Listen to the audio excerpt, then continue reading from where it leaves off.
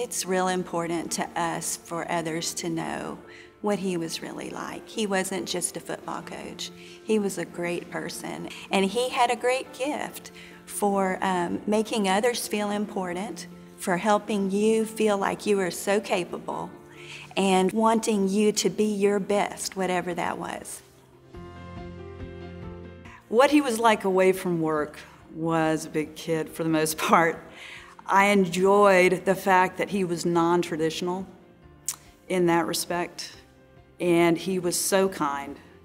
You know, if you should go through life, you should go through happy. And he always wanted to be, and he made others that way. He was always giggling and singing and almost dancing around the house, ready to tease and play, and he enjoyed life so much. It was infectious. He would just get you excited just to be in the room with him, to do any activity with him was uh, was just fun and full of joy. Well, playing for him was a constant challenge, but he was a great man, one of the few great men I've ever known. And I began to learn that my first week. Meeting number one. Now, men, if you're not a good football player, that's not your fault. That's my fault, because I invited you here. We're not going to kill you on the practice field. We're not going to rough you up. We're not going to scream profanity at you. We're not going to degrade you in any way. But you are going to go to every single class. And I thought, he was so nice. He couldn't have been serious about that. So I was 17 years old, and I had chemistry at 8 o'clock, four mornings a week. And I decided that there's no way that the chemistry teacher could report me if I just slept in once. Coach Dodd would never know. The day after I cut class, the day after, my name is on the bulletin board. Bill Curry, report to Grant Field, 5.30 a.m. Wednesday morning in your running gear.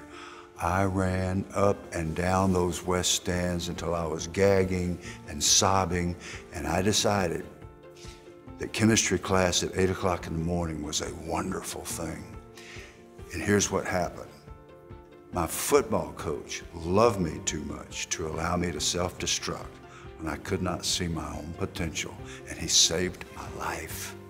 In an instant, that's what Bobby Dodd meant to me in the beginning. And he always thought BDI was a wonderful organization, and he always had a special heart for the disabled and the disadvantaged, and he would be so honored that they used his name. So for BDI to recognize him, the affirmation that he was such a great person, his character was incredible. And this institute represents that. And this is the nicest thing that could happen with his legacy.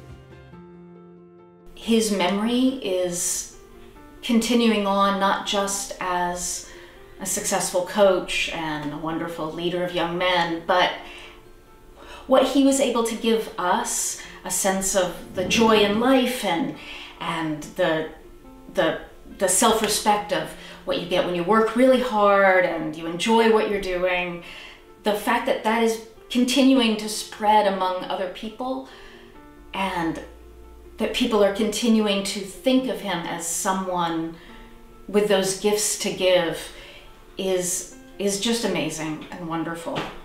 And we're so grateful that that you are continuing to hold him up as an example of someone who did such wonderful things in the world.